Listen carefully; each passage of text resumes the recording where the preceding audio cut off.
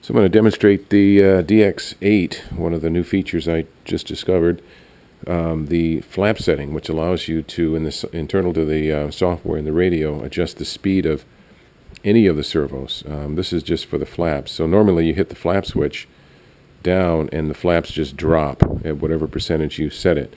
And it's a pretty dramatic drop.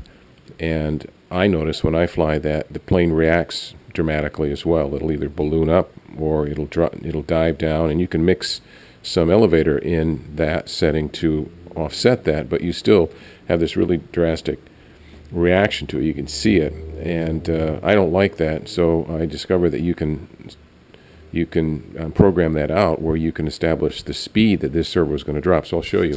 I've got three settings here: zero, which is normal, flush, one, which is partially down, and whatever percentage. I've got it at 50% or 40% for just taking off, and then the bottom level, uh, all the way down, allows you to um, have a landing flap. So I have that down at 100%.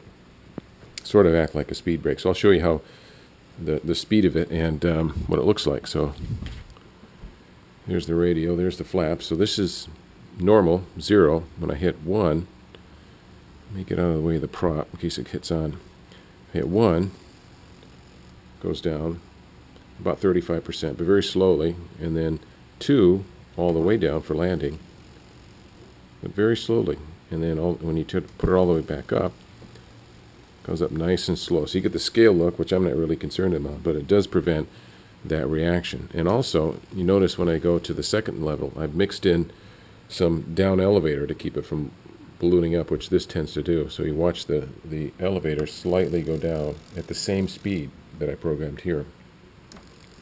Now you can also set the speed of the ailerons, which is uh, kind of the same effect as um, dual rate, and you can set the speed of the elevators, which has the dual rate or dampening effect on it, and the rudder. Um, so that's basically how it works.